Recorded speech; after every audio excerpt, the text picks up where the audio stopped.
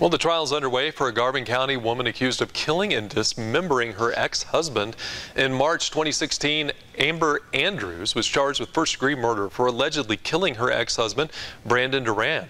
Her boyfriend, Justin Hammer, was convicted of murder and sentenced to life in prison. Court documents state that Duran's body was dismembered and stuffed into cement-filled buckets. The jury's been deliberating all afternoon and is expected to continue deliberations tonight and possibly tomorrow.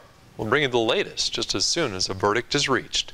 All right, time to check on weather here. Texoman should prepare for not only the possibility of severe weather tomorrow, but flooding rainfall on Saturday. Chief Meteorologist Steve LaNore has been tracking it all. Steve. Just